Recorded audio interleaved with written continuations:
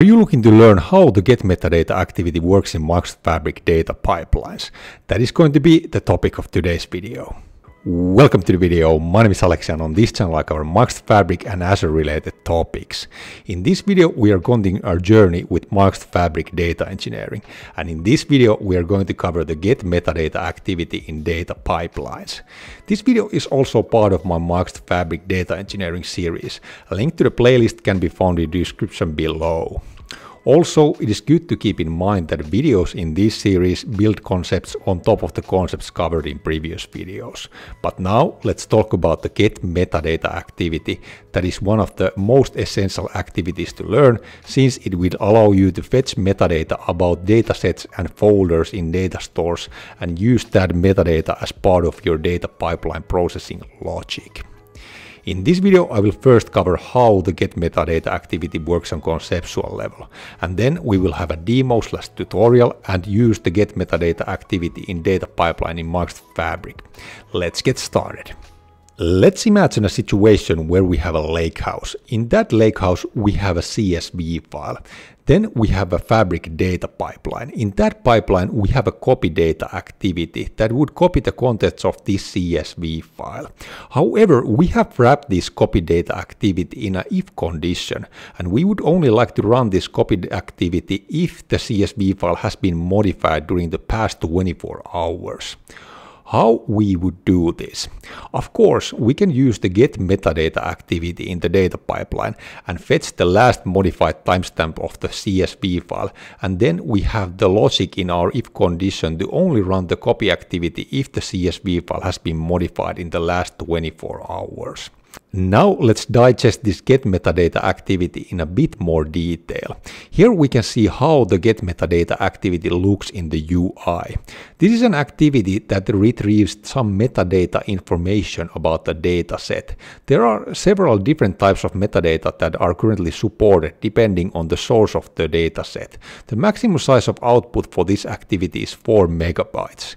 The output of this activity can be used in the following activities as dynamic content content. This activity is somewhat similar to the lookup activity that we covered in the previous video in this series. Now let's take a look at a couple of these options and the kinds of outputs they would yield in data pipelines. Let's have a lakehouse. In that lakehouse, let's have a CSV file and call that file1.csv. Then we're going to have a get metadata activity in our data pipeline. First, let's set the option of the get metadata activity to last modified. Now when our get metadata activity runs, we can see that it will output the last modified timestamp of that file. Next, let's change our get metadata activities option to exists and run our get metadata activity again. Now we can see that our return value is a boolean value and it is now true since our file is there and exists. If our file didn't exist, the get metadata activity wouldn't throw an error but would return false. Lastly, let's set our option to structure and see what kind of output our get metadata activity would now yield when it runs. We can see that after it runs, we get the structure array in the output, and it has all the columns and their data types that we would have in the CSV file. Like the lookup activity, the outputs of the get metadata activity would be now available to be used in the following activities as input and dynamic content. This would allow us to build some extra logic into our pipelines based on the get metadata activities outputs. Now let's hop into Fabric and let's do a demo slash tutorial that will help you to see and learn how the get metadata activity works in action. Also, all the files used in the tutorial can be found by clicking the link in the description. But before we open Fabric, I would like you to know that I spent ton of my free time creating these videos for you, and that's why I would like you to hit that like button and subscribe to the channel for more Microsoft Fabric data engineering content. It doesn't cost you anything, and I would highly appreciate that. But now, let's go to Fabric.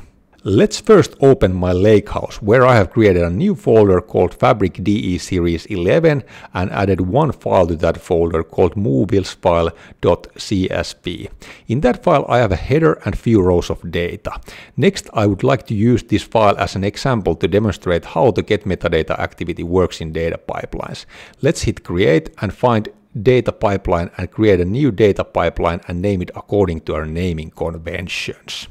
Then we want to start with a blank canvas and just to add one activity to that pipeline, that is going to be of course the get metadata activity.